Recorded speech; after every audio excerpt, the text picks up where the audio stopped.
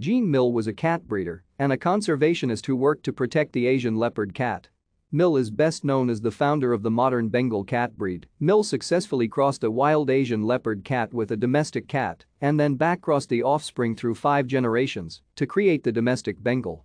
Mill made contributions in two other cat breeds, the Himalayan and the standardized version of the Egyptian Mau. Jean and her first husband Robert Sugden were involved in a precedent-setting case about the United States government's power to monitor short-wave radio communications. Jean Mill has also authored two books. Jean Mill was concerned about the hunting and poaching of the Asian leopard cats to supply the fur and pet trades. Mill has said that her desire to save the Asian leopard cat led to the creation of the Bengal cat breed. Mill claimed that she started crossing Asian leopard cats with domestic cats to help prevent poaching. She gave two reasons for her breeding rationale. If people could purchase a cat that looked like a wild leopard, the actual Asian leopard mothers would not be killed in the wild for fur. And the cubs would not be taken to be sold to customers.